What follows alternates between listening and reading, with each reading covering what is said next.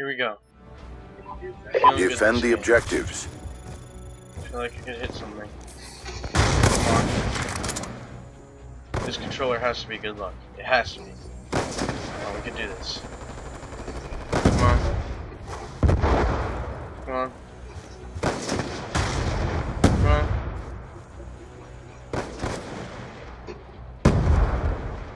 One on top of castle.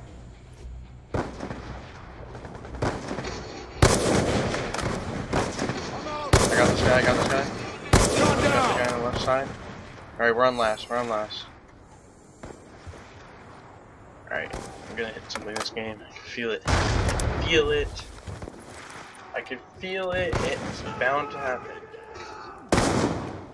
Okay, that was a really bad tomahawk.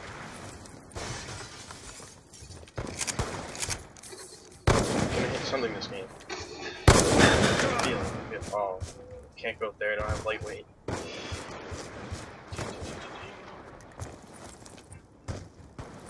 Come on, Scuff Controller, give me good luck, give me good luck. Oh, I missed. Oh, he's setting up. Oh. He's setting up, really? Uh, I'll hit something on him, hopefully. Reloading!